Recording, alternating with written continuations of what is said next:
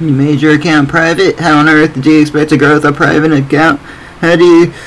Do, do you see the issue, Kyle? Squad, we made our account private for like a week, and yeah, I was just feeling bad. Um... I don't know. We are just continuously losing followers.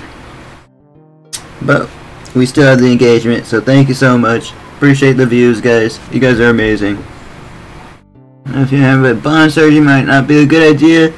We should try to love ourselves for who we are. Yeah, but it's hot. Like, guys, I'm just having so much bottom dysphoria. It's just super, super uncomfortable.